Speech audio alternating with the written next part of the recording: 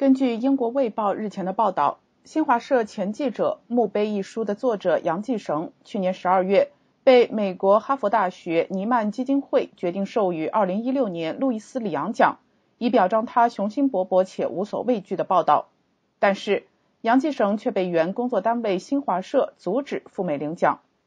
本台记者二月十六日致电杨继绳，对方确认了有关说法，不过表示目前无法接受记者的采访。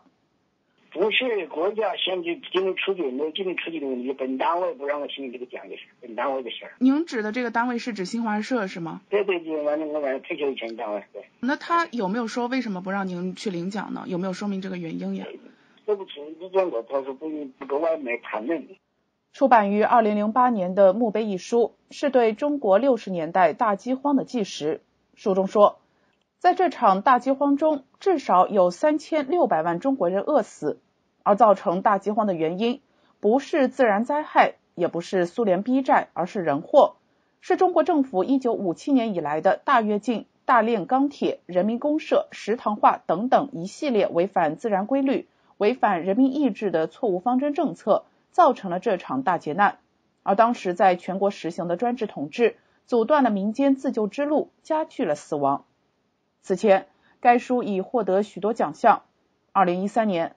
墓碑获得曼哈顿研究所的海耶克图书奖。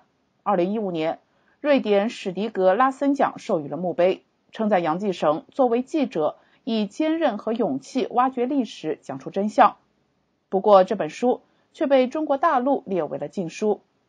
关注事件的德国媒体人苏雨桐二月十六日接受本台采访时表示，新华社的做法很可笑。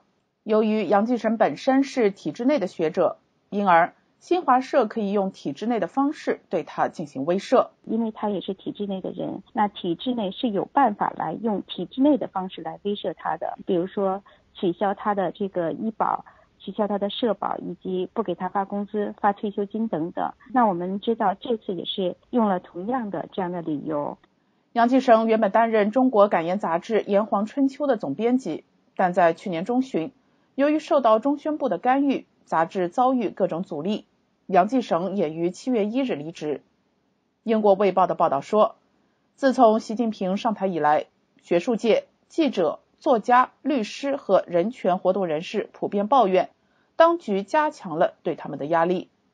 以上是自由亚洲电台特约记者杨帆的采访报道。